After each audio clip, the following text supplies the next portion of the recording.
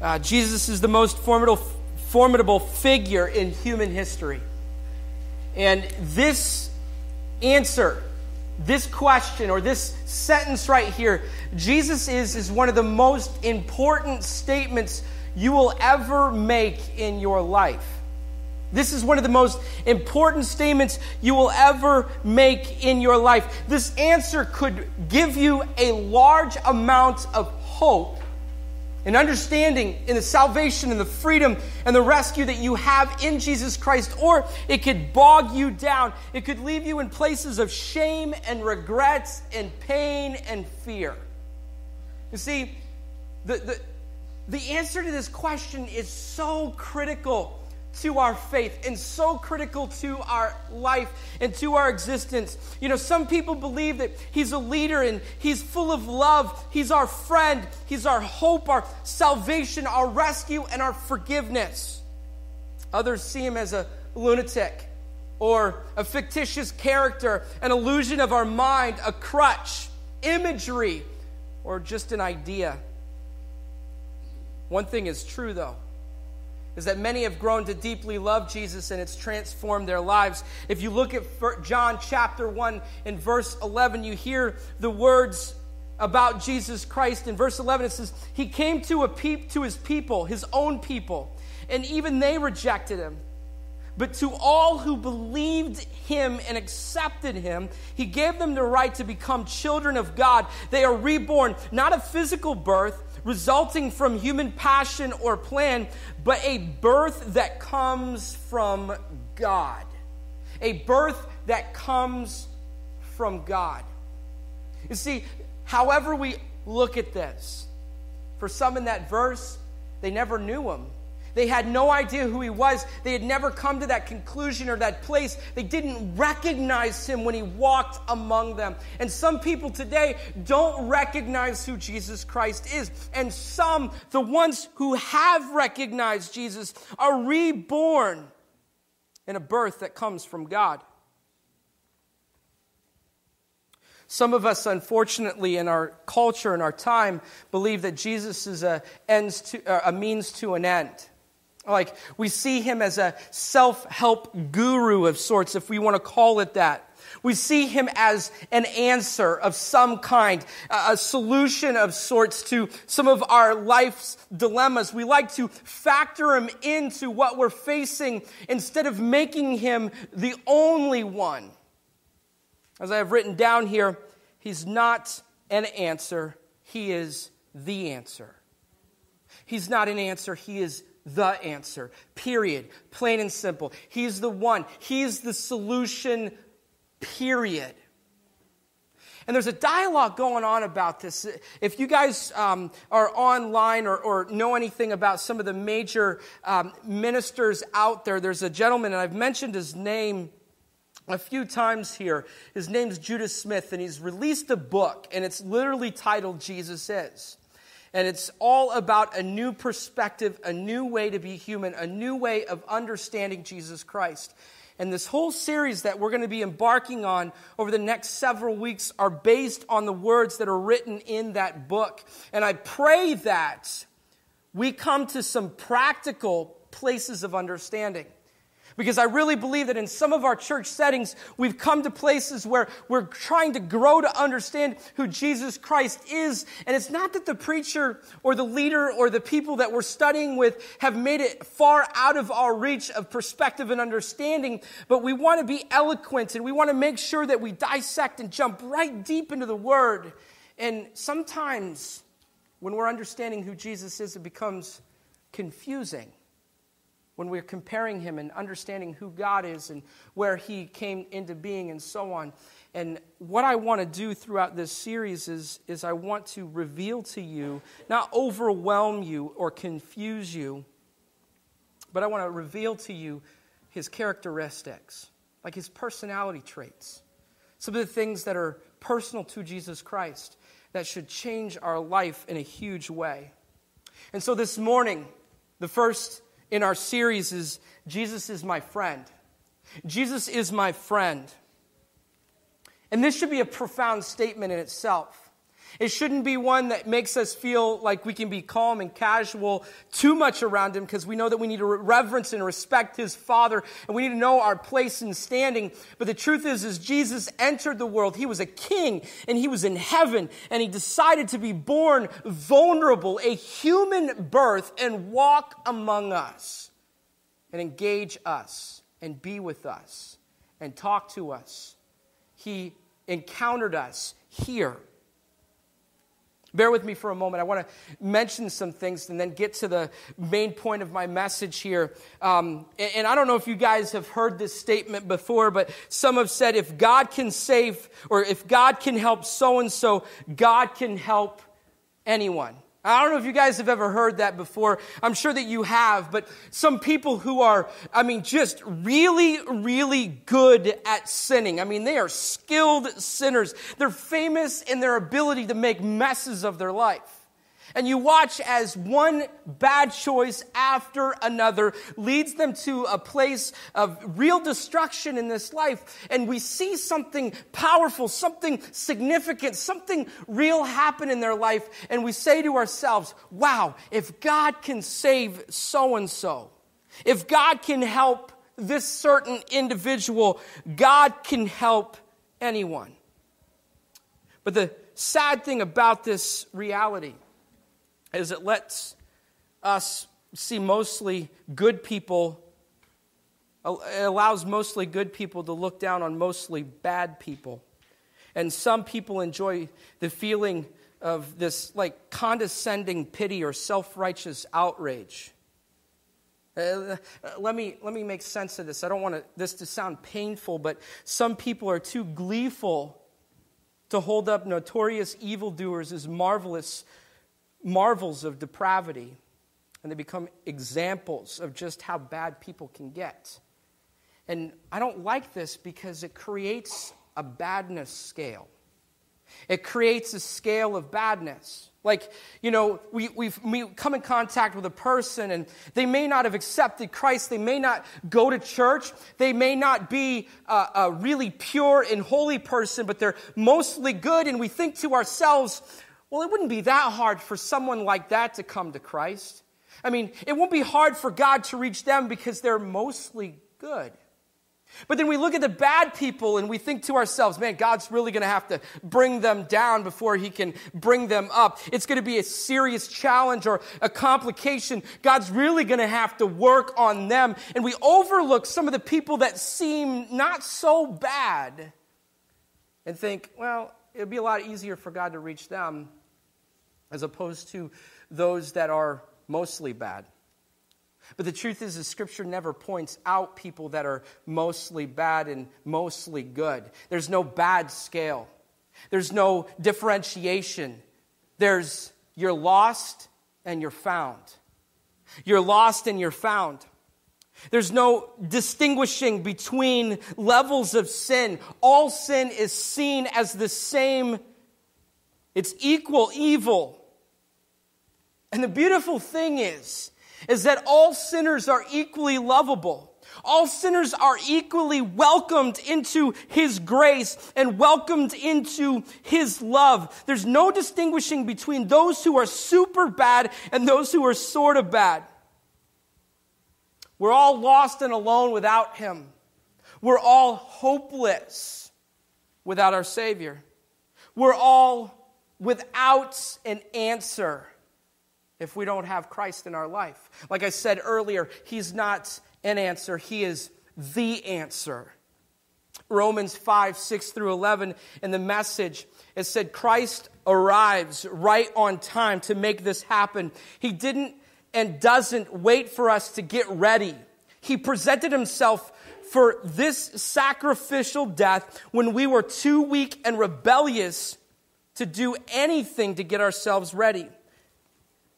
And even if we hadn't been so weak, we wouldn't have known what to do anyway.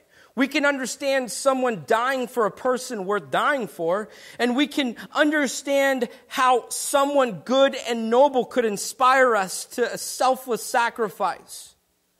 But God put his love on the line for us by offering his son in sacrificial death while we were off, uh, uh, while we were of no use whatever to him.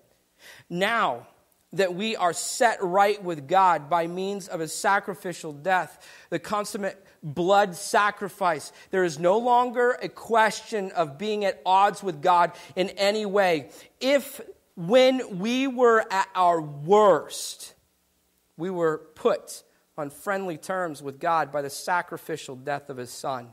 And now that we're at our best, just think of how our lives will expand and deepen by the means of his resurrection life. Now that we have actually received the amazing friendship with God, we are no longer content to simply say it in plodding prose.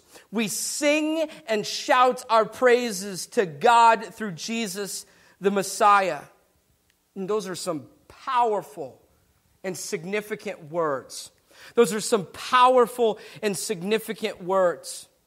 His love and acceptance is for everyone and anyone. His love and acceptance is for everyone and anyone. And some people might think that I love this character more than others in the Bible, but um, I'm going to talk to you guys about Zacchaeus today. We, we know him from our kids uh, singing songs about Zacchaeus being a wee little man. A wee little man was he, climbed up in a sycamore tree.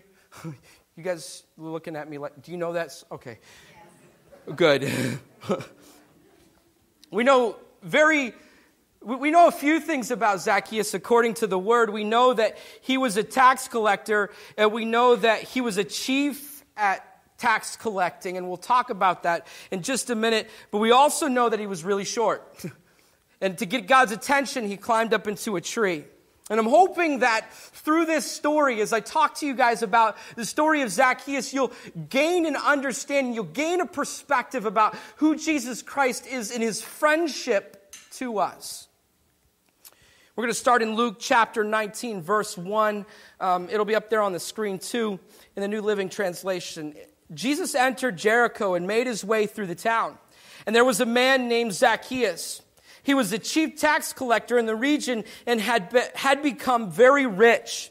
He tried to get a look at Jesus, but he was too short to see over the crowd, so he ran ahead and climbed a sycamore fig tree over the crowd. So, so, I'm sorry, beside the road, for Jesus was going to pass that way. And when Jesus came by, he looked up at Zacchaeus and called him by name. Zacchaeus, he said, quick, come down. I must be a guest in your home today. Zacchaeus quickly climbed down and took Jesus to his house in great excitement and joy. But the people were displeased. He's gone to be the guest of a notorious sinner, they grumbled. Meanwhile, Zacchaeus stood before the Lord and said, I will give half my wealth to the poor, Lord. And if I have cheated people on their taxes, I will give them back four times as much.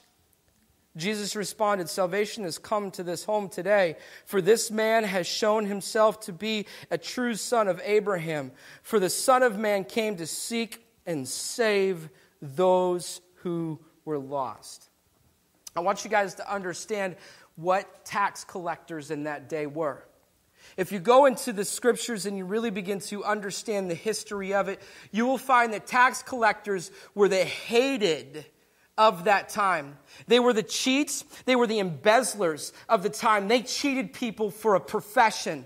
They were responsible. Usually, tax collectors were people of Israel descent that were recruited by Rome, a nation that was overseeing the Israelites to collect taxes for Caesar. And as they would go about collecting taxes, whatever they would have to meet a quota with Rome. And then whatever was left over from making that quota, they were able to earn for themselves. So they weren't able to take a chunk of the taxes they collected. All of that money needed to be sent out. And so Zacchaeus and other tax collectors were really, really good at cheating and scheming. They would go door to door and require the, ca- the taxes that were supposed to go to Rome. And in the process, they would elevate the costs so that they could have some for themselves. And we know that Zacchaeus was a really, really rich man. The company, the, the company that he kept probably wasn't good. And he probably had a whole lot. And I would imagine that Zacchaeus enjoyed flaunting it. I'm sure he was an entrepreneur of sorts. I mean, for the Rome to ask Zacchaeus to be a part of their work there and the tax collecting um, meant that they saw potential in him. They saw him as someone who could gain much money from the Israelite people, from the Jews. And so Zacchaeus then somehow in the process was promoted to a chief tax collector. And, and my perspective about this is he was probably kind of like an overseer of several different tax collectors that would go about collecting money. And I'm sure that he took a cut of what they were collecting from the people. And so, like, I mean, he was a professional at cheating people. He was a professional at doing this kind of, of, of, of cutting people away from their money and taking things that belong to them. And for me, in understanding who Zacchaeus was, this makes him a major reject. Zacchaeus was infamous. He was legendary. He was notorious. and and I, I mean, I'm sure that Zacchaeus really didn't mind being hated. I'm sure that Zacchaeus had a lot of things. I mean, for Zacchaeus to be so full into this, to be considered a chief of tax collectors, means that he was high ranking in this role. He probably lived in a very big house. He probably had servants who fanned him whenever he wanted to. I'm sure that this man was sitting in a place of great luxury. And people feared him not in a good way. And I'm, you know, I know that it might be, it might seem like I'm, I'm grabbing a lot from the story, but I'm sure that Zacchaeus really didn't, didn't care. And then Zacchaeus is going about his thing. And Zacchaeus, being of Jewish descent, I'm sure that he had heard stories of the Messiah that was coming, of the prophecies of the king that was going to come to earth and he heard news about this Jesus Christ figure. And it was of his understanding that maybe perhaps this is the Messiah. There's some people talking about it, there's some people rumoring about it. Jesus enters, and rumors have it that Jesus might actually be the Messiah. Now, some people, and I know that it could probably go either way, but uh, walk with me for a minute. Some people believe that Zacchaeus climbing up into that tree was a fit of desperation to grab Jesus' attention because he was lost and hopeless. But I tend to believe that knowing where Zacchaeus was in his life, being a chief tax collector and having all this wealth, I'm sure that he was trying to seek an opportunity with one famous person to another. Like he was short and the crowds are pressing, pressing in. They're trying to get together and, and find out who this Jesus is. And they're trying to gather around him and they're crowding him in. And Zacchaeus is just frustrated. He can't gain access to him. So he climbs up a tree thinking, one famous man to another. Maybe he's heard about me. Maybe he knows about me. I'm going to grab a hold of Jesus' attention, one famous or one, one famous man to another infamous man. I'm sure that he thought to himself, I don't know what Jesus would save me from. I mean, he has wealth, he has belongings, he has everything that he wants. He's full of his own riches and his own glory. I'm sure that he's just merely seeking to impress Jesus. he's thinking that he has something to flaunt. And Zacchaeus was pretty proud of what he had. But something bizarre happens. And Jesus is walking down the street. Zacchaeus climbs up in the tree, and Jesus catches eye contact with Zacchaeus. And he goes, Zacchaeus. What? like, how did he find out? Zacchaeus has got to probably be thinking, how does he even know my name? How does he even know who I am? How does he even know me? I'm okay, you know. And Jesus says, Well, you know, come down. We're going to go have lunch or supper at your house. and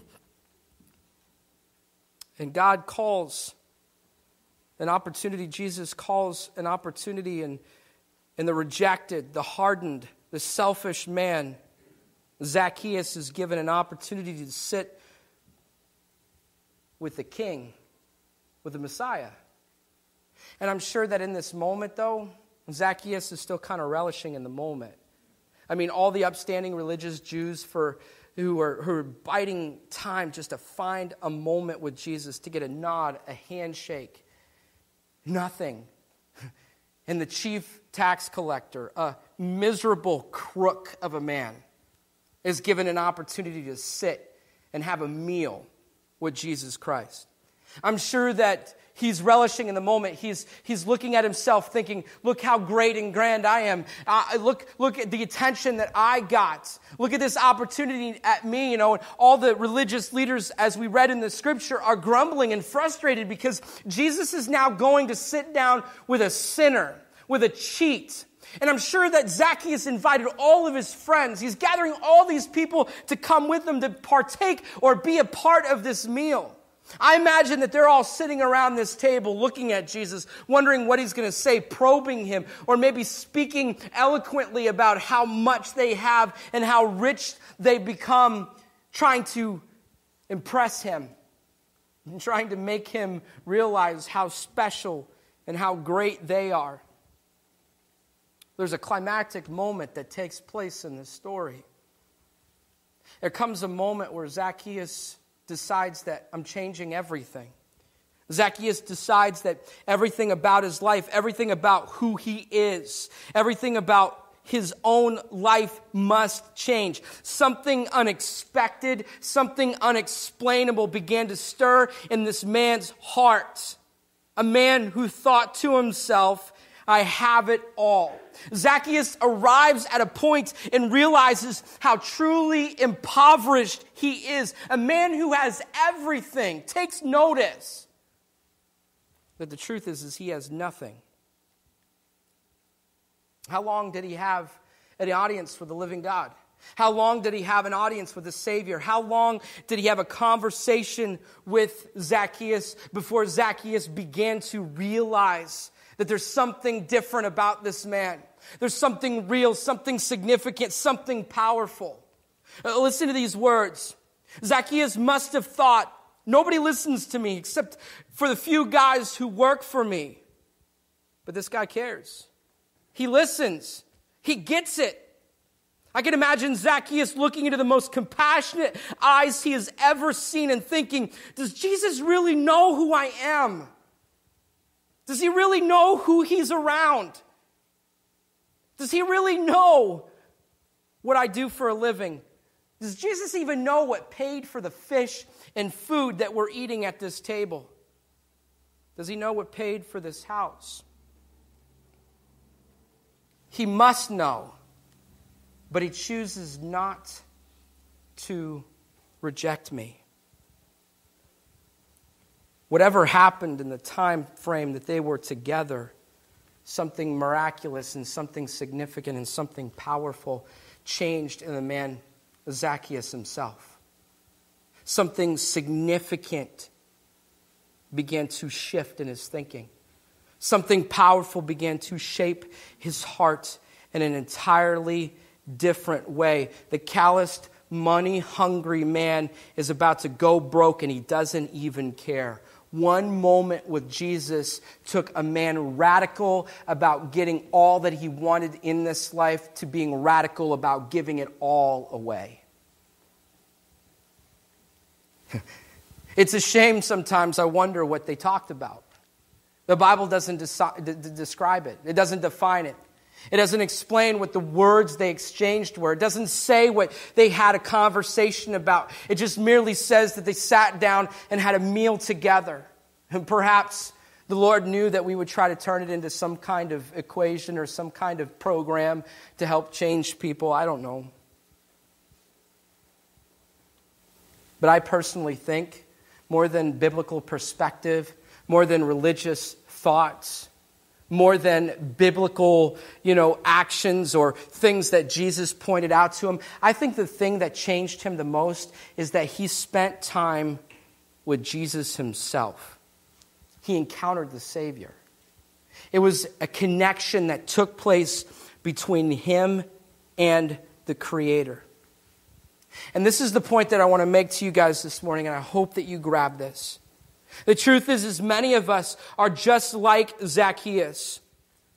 Many of us are walking around attempting to tout our accomplishments or seeking favor by religious action and anxiety driven devotion. We're all climbing our own sycamore trees. We're trying to grab Jesus' attention any way possible. We're flagging him down and we're waving him down. We see him in interaction with other people. We see people crowding in on him and we're just thinking to ourselves, how do I get attention with this man? How do I find Jesus Christ? And Zacchaeus climbs himself up a tree and begins to tout about all the things that he does. For some reason, perhaps, just maybe, Zacchaeus thought that all that he had, his wealth, his belongings, his personal charisma, was going to grab Jesus' attention. But the powerful thing about this story is, is Jesus knew his name before Zacchaeus even said a thing. All Zacchaeus did was climb into that tree. All Zacchaeus did was show some initiative to try to grab his attention, probably for the wrong reasons entirely. And Jesus Christ turns around and calls him by name. Some of us, we can't see past ourselves, we can't see past our distractions. Some of us can't see past our own pride and ego. But it wasn't those things that saved Zacchaeus. It wasn't his wealth, all that he had, or all that he thought he was showing God or showing the Son of God. It was Jesus Christ himself. It was mercy. It was grace. It was forgiveness. This was Jesus Christ's initiative. And sometimes we need to recognize we don't have to climb into a sycamore tree for God to stop and take notice of us. We don't have to do all these splendorous and wondrous things for God to, to, for us to grab God's attention. You see, Jesus stopped that day and he stopped of his own choosing. He stopped because he's gracious. He stopped because he's good. He stopped because he knew Zacchaeus had a name, just as he knows you and me. And he told Zacchaeus to hurry down from that tree, that he wanted to be with him, that he wanted to spend time with him, that he wanted to go to where he goes. Jesus didn't care about the company that he kept. He didn't care about what kind of lifestyle led him to that place. He didn't care about what notorious name Zacchaeus had made for himself. He didn't care that Zacchaeus was a hated cheat in his culture. Jesus didn't come as, as the scripture said that we were reading just a few minutes ago. At the end of that, he adds in verse 10, for the son of man came to seek and save those who are lost. Who are lost.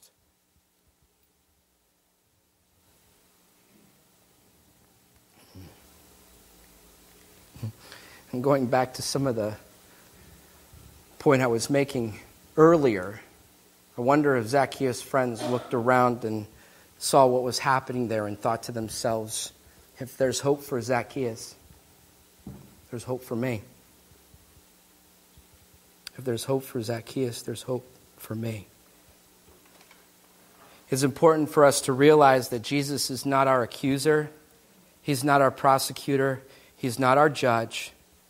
He's our friend and He's our rescuer. He's our friend and He's our rescuer. This story is powerful in its definition and defining who Jesus Christ is. Jesus Christ decided to be a friend that day.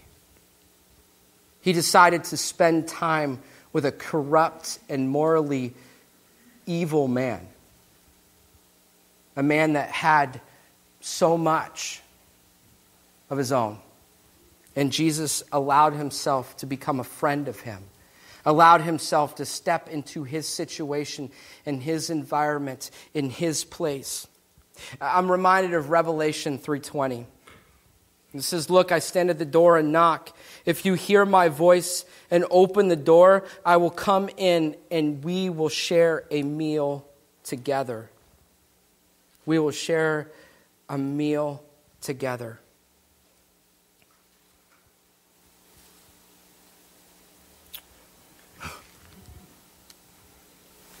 I want to encourage you guys this morning. I'm reminded of a familiar hymn that we hear quite a bit, something that, that we don't always recognize the words to. I'm going to start reading them. What a friend we have in Jesus, all our sins and griefs to bear. What a privilege to carry everything to God in prayer. Oh, what peace we often forfeit. Oh, what goodness, good, or what we needless pain we bear, all because we do not carry everything to God in prayer. Have we trials and temptations? In their trouble anywhere, we should never be discouraged. Take it to the Lord in prayer. Can we find a friend so faithful who will all our sorrows share? Jesus knows our every weakness. Take it to the Lord in prayer. Are you weak and heavy laden, cumbered with a load of care. Precious Savior, still our refuge. Take it to the Lord in prayer. Do your friends despise, forsake you? Take it to the Lord in prayer. In his arms he'll take and shield you. You will find a solace there.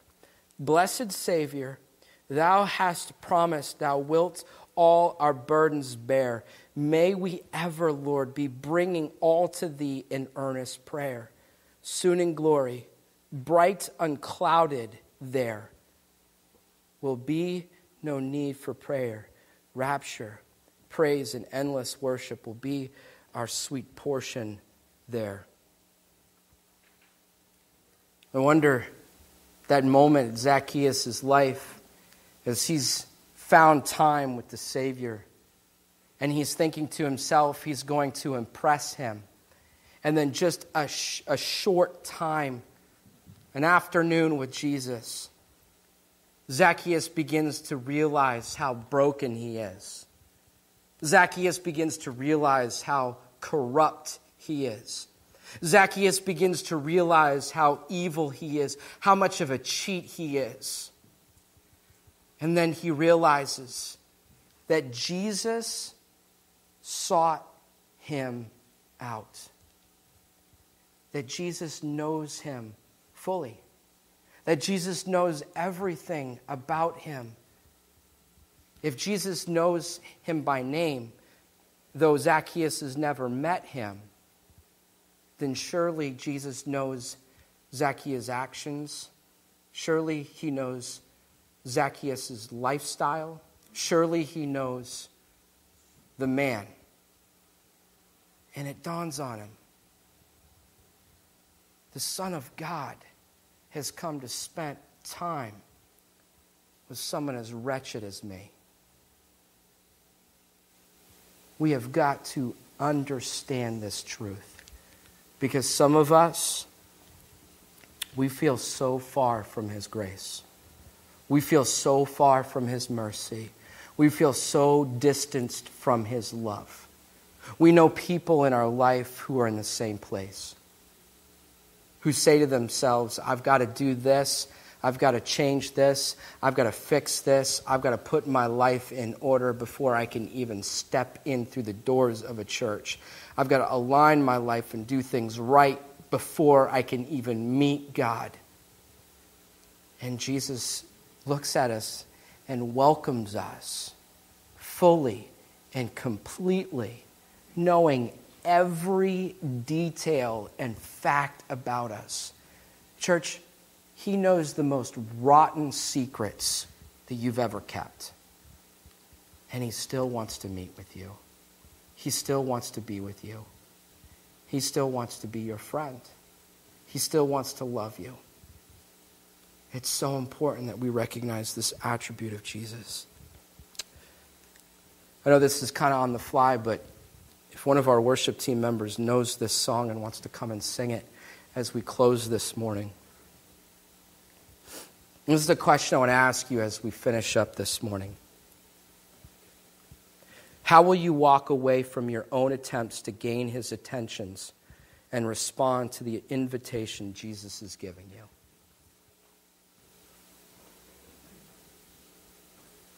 You already have his attention. You already have it. He loves you. He cares about you. He knows everything about you. But that's not kept him from loving you. That's not kept him from seeking you. One of the most beautiful things in the, in the story of the prodigal son is the father actually runs at the son. I mean, just runs at him. He's after you. Before you even climb in a tree, he knows you by name and he wants to meet with you. He wants to have time with you. He wants to love you. He wants to be your friend and he wants to rescue you. As you sing this song, I want to ask that you be honest about that question. How will you stop? How will you stop by your own intentions to seek his attention and accept the fact that He's already come to you and He's already with you He already wants to be with you, regardless of your history. You know what? Some of you right now, it's not your history, it's your right now. You're living in a pretty sinful moment. You're making some bad choices and doing some dumb things. He still loves you. He still absolutely adores you.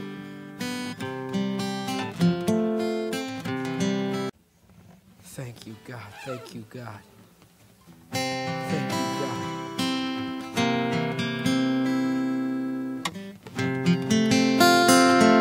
Going back to Romans for just a minute, I'm going to read this and pray.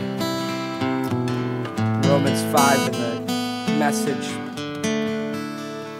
verse 9, it says, Now that we are set, free, set right with God by means of his sacrificial death, his blood sacrifice. There's no longer a question of being at odds with God in any way. If, when we were at our worst, we were put on friendly terms with God by the sacrificial death of His Son, now that we're at our best, just think of how our lives will expand and deepen by the means of His resurrection life now that we have actually received this amazing friendship with God, we are no longer content to simply say it in plodding prose.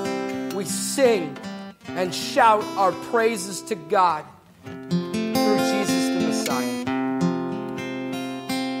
Father God, I thank you for this morning. Jesus, I thank you for your friendship. I thank you that you came into a culture that was broken, a culture that was devastated by evil, and you allowed yourself to spend time with the most corrupt of sinners. That in doing so, you reveal to us that we are never too far gone, that we don't have to act in a way in attempt to gain your grace or your mercy or seek your affections but you already know us by name and you already love us. I thank you today for your mercy. I thank you today for your love. I thank you today for your friendship. That I am free today. That I am released today. I love you, God. I thank you, Jesus Christ. I pray that this truth, Jesus is, you, Jesus, are our friend, would hit us in a real way this morning and that we would welcome you in, dwell with you, and sit with you, and let you love us regardless of our mistakes and our failures. And that when we look at grace, and we look at love and we look at mercy in the face, that it would change everything about our lives. that it would turn some of the most radical of sinners into the most radical, radical free. It's in Jesus Christ's name we pray. Amen.